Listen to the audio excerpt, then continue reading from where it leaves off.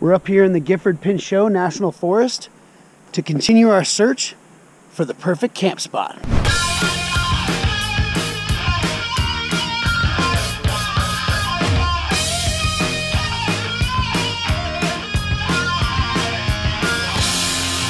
Isn't this great? Camp Chronicles Volume 2, baby! Woo! Yep, this looks like Bigfoot country, don't it? Yeah, this looks like the kind of place that people would think Bigfoot exists. Bigfoot loves Trump. you know, it's hard to go camping without quoting Sling Blade. Oh, Doyle, you know what happens when you drink? I aimed on killing you. I thought about it quite a bit. I reckon I'm gonna kill you with it. But I guess I'm not gonna do nothing if you're just gonna there in that. What do you got that's good to eat? You want a large fry or a small fry?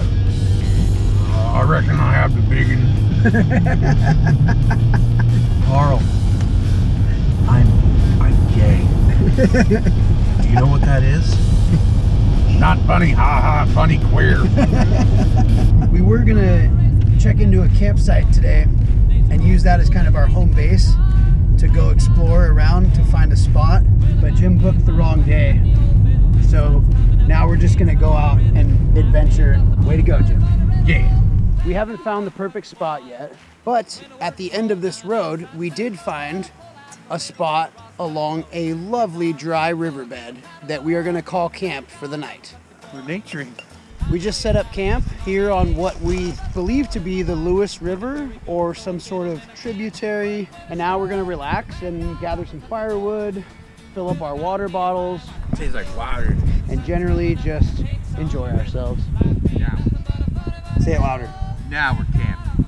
For no reason at all, I'm about to plunge myself into extremely cold water. How cold do you think that water is? Like 45 degrees? Yeah, I'd say 40, sure. 45 degrees. Okay, so it's like glacier melt. I think you need to let it rest for like 15, 20 minutes. It's gonna be cold. That shows the perfect cooking of this meat. Perfect. like, I am so proud of myself right now. Look at that bloody meaty side of pork belly ribs roasting on a hot rock in the middle of the fire. Uh, we're playing Rip Your Drip, which is like where you just rip on your friends in funny, personal ways. You look like the kind of guy that would do his hardest to talk his way out of a parking ticket. You look like the kind of guy that would eat a donut while he's shopping. You look like the kind of guy who is gonna wear a visor in 10 years. You look like the kind of guy that's gonna fight for pajama bottoms, to be a serious form of pants. You look like the guy who can't wait to eat the cinnamon Jolly Ranchers. You look like someone that sold your shares for Apple in the stock market because Joe Rogan told you it was a good idea. You look like the kind of guy who sits in a sauna for five minutes and then complains because it's too hot.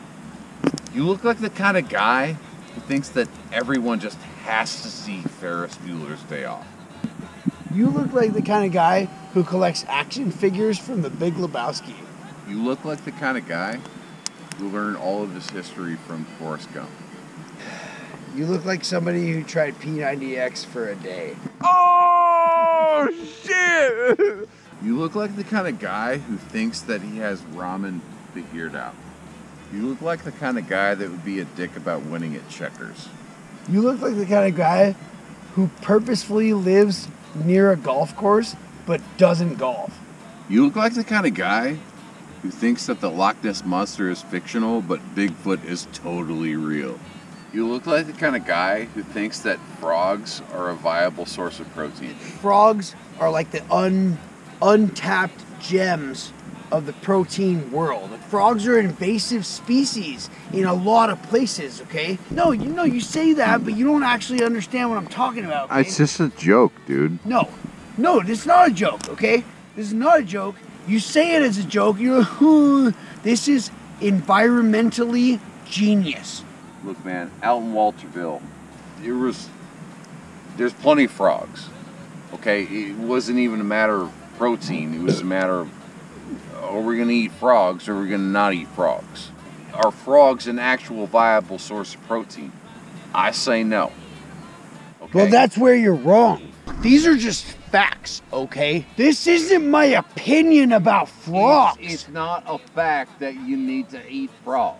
You've never even been to Walterville. I've been to Walterville. I've like my 30 grandpappy was the first Walter in Walterville. My my grandpappy was a truck farmer. He'd been in Walterville for 30, 40 all years. I know exactly what Walterville is. you think you about. know? You think you know? I know exactly You what think Walter. you know? I drink Pabst Blue Ribbon. You ate a baby.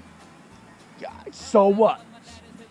Frogs provide meaningful omnivorous protein. You look like a guy who brags about the potato salad that he brought to a potluck. It was this thing that my wife and I were talking about. It was kind of crazy, but we, we chopped up some, some pickles and, and put it in there. You try it? No?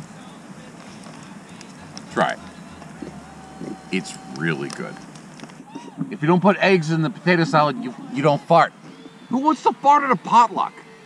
You look like the kind of guy that thinks that rats can be pets.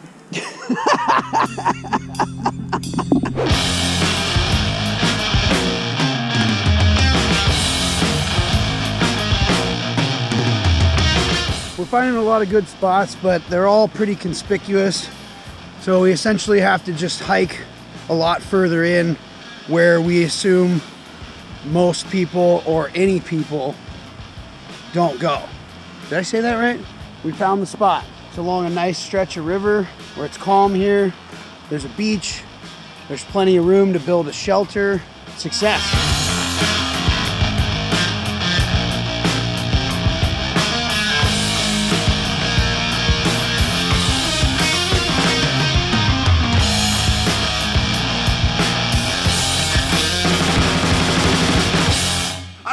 Never do that now. Like, I was just a maniac